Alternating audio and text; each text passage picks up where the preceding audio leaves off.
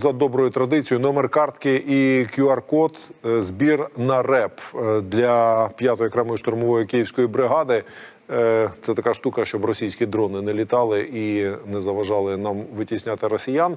А поки що, пане Юрію, поки наші глядачі допомагають вам зібрати на РЕП, яка ситуація в часовому яру? Наскільки активні штурми росіян там? Ну, ворог е, традиційно намагається атакувати на Часов'ярівському напрямку. Хочу сказати, що він це робить вже більше року. З осені минулого року е, ворог е, веде беззупинні штурми на цьому напрямку.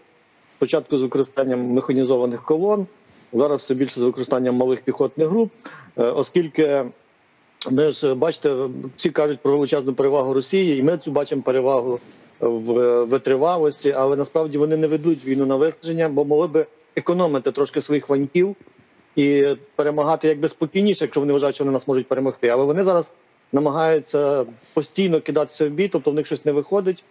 Е, Тому ми бачимо знову чергове накопичення живої сили ворога. Ми знаємо, що вони трохи заліза підвезли, мангалів. Е, Тих мангалів попалено стоїть вже дуже багато е, в полях навколо нас. Е, Тому ми бачимо, що ворог поспішає, поспішає, нервує. Е, Тактика його малих піхотних груп дійсно вона нам завдала багато клопоту, тому що ворог намагався проникати за наші бойові порядки. Ворог намагався активно бити по логістиці. Коли ми сьогодні говоримо про реп, то ви маєте зрозуміти, що вже на відстані 10 кілометрів від фронту без ребу не може рухатися ні автомобіль, ні піхотинець. Жодна техніка вже не зайде на передову, тому що все кишить дронами і реби, можливість дістатися до поля бою неушкодженим зараз є пріоритетом і надзвичайно важливими. Тобто бачимо оці всі потуги ворога, бачимо їхні спроби знову зібрати сили в ударних кулак. І є таке складається враження, що вони чомусь дуже поспішають. Бо ну це ну якби нелогічно, якщо вони вважають, що в них перевага артилерійська, перевага в усьому, то навіщо так поспішати?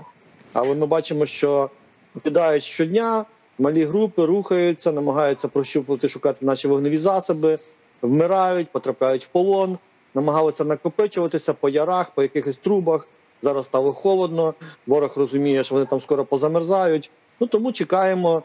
Погана по- холодна погода е, стимулює до гарячих подій на фронті. Ми до цього готові. А скільки коштує цей реп, на який ви збираєте, пане Юрію?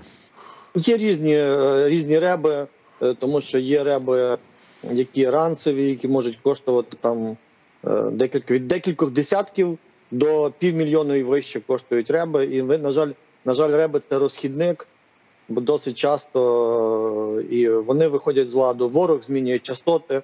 Якщо, наприклад, FPV зараз дуже багато, крім скедів, крім так званих дронів мавіків, які скидають різного типу боєприпаси.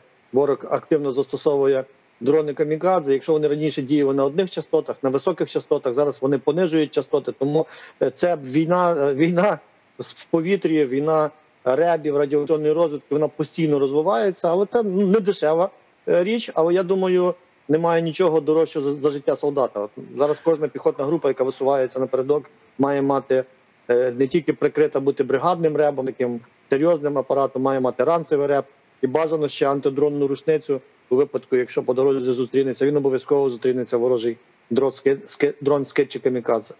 40 тисяч е, повідомив редактор. 50 уже, от щойно сказав, 50 тисяч е, уже зібрано. Дякую усім, хто не пошкодував часу і грошей долучитися до ребу. Е, і останнє дуже коротке питання, пане Юрію. Чи правильно я розумію, що чим холодніше стає, тим менше діє батарея? Ребу теж ж на холоді вони не так довго працюють. Так, це є проблема і на холоді, і дивлячись на які засоби будеш використовувати. І найголовніше, що для того, щоб на передовій він підживлювався, треба ще з собою знести якийсь генератор чи екофло, а зараз це практично неможливо.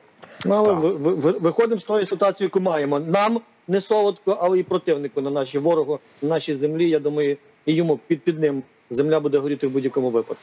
Тому, щоб додати противнику ще трохи солі і перцю, будь ласка, от скануйте цей QR-код і номер картки і допоможіть зібрати п'ятій окремій штурмовій київській бригаді на реби. Е, дуже потрібна штука. Дякую, пане Юрію. Це був Юрій Саротюк.